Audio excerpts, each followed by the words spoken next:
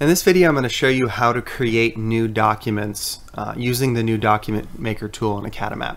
Uh, this includes things like certificates and ID cards for anyone in your school. So in order to use the document maker, first you have to select at least one student in your people directory.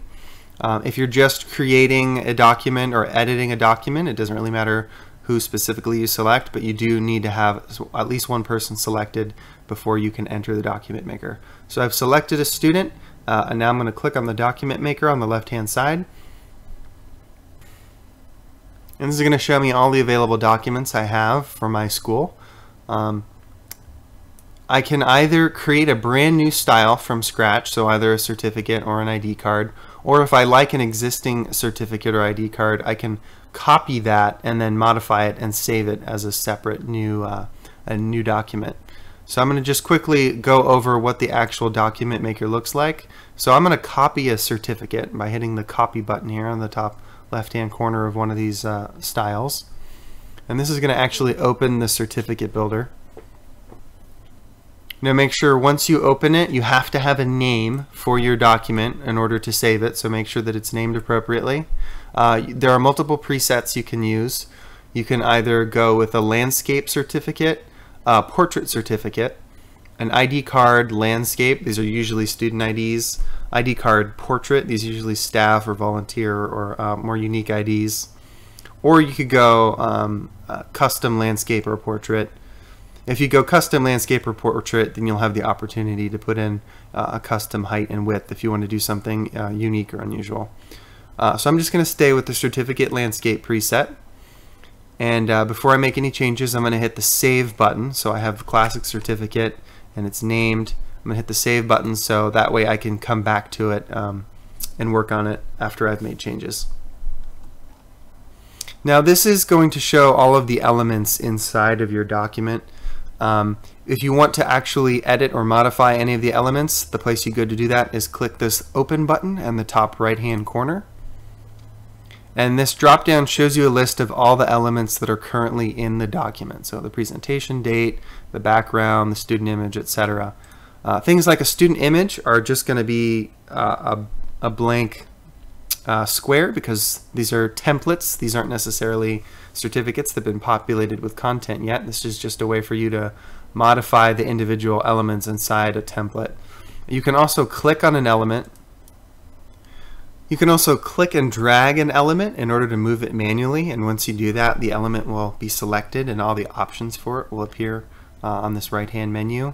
Or if you just want to select an element uh, here on the actual preview you can right click and then hit edit presented to. So this is the presented to element and then I'm going to hit edit presented to and it selects that and then I can make modifications here on this panel. Um, each element is going to have its own individual settings which I'll go over in other tutorials. Um, if I want to add an element I click this add element button and it'll open up a menu of what I want to add. So I can add a barcode, a logo, a media image. This could be a background or a seal or another image you want to attach to the document. This could be a shape, so if you want to put a bar behind a name and an ID, a student field, uh, a student image, and just any sort of uh, generic text you want to add into the document.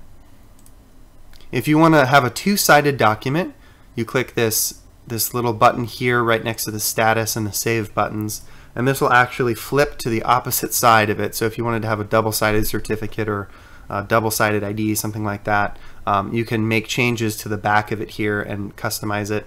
And you know which side you're on because the letter A or B will appear in the background. So A is the front and B is the back. So right now we're looking at the back of this certificate. There's nothing on it. And uh, if I want to go back to the front of the certificate, I just click this little switch button one more time.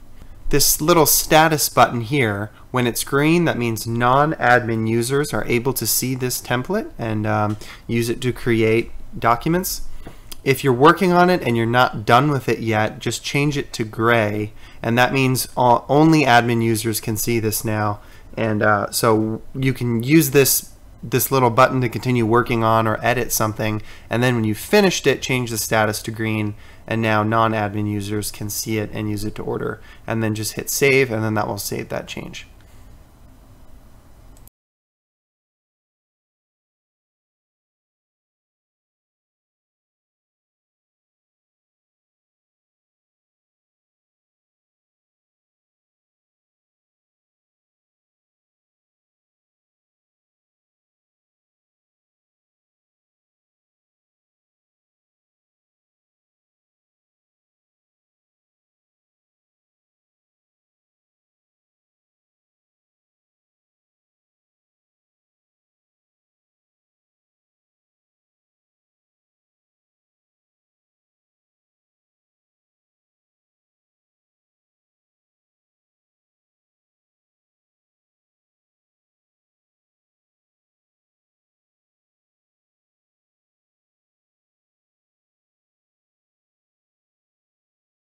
Maker on the left hand side. And this is going to show me all the available documents I have for my school. Um, I can either create a brand new style from scratch, so either a certificate or an ID card, or if I like an existing certificate or ID card, I can copy that and then modify it and save it as a separate new, uh, a new document. So I'm going to just quickly go over what the actual document maker looks like. So I'm going to copy a certificate by hitting the copy button here on the top left hand corner of one of these uh, styles. And this is going to actually open the certificate builder. Now make sure once you open it, you have